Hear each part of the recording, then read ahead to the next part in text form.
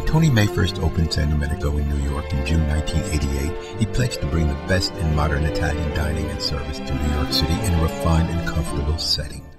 Restaurant reviewer Bryan Miller agreed, and six weeks later awarded San Domenico, New York, three stars in the New York Times. Since that first stunning review, the restaurant has received countless accolades as diners and critics alike revel in executive chef Odette Fada's elegant ingredient-driven menu. Now in its 15th year, Tony May's commitment to providing diners with an unparalleled level of fine Italian cuisine continues to grow. USA Today has proclaimed it one of the top 10 Italian restaurants in America. I thought you were coming tomorrow because I was going to go to the barber today, you know, and uh, trim myself up. San Domenico started in Italy. You know, when I uh, experienced the, the, food, the service, the ambiance of the famous restaurant in Imola, outside of Bologna.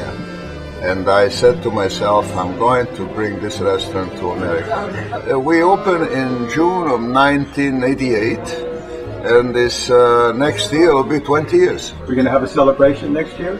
Yes, we're going to have a big celebration, a big bang.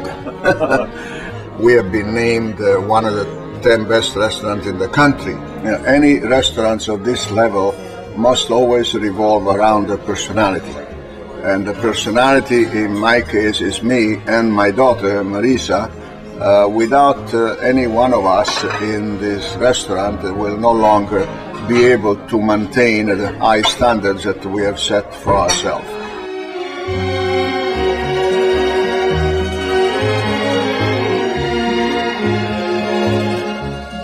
San Domenico is located at Columbus Circle, and that about says it all.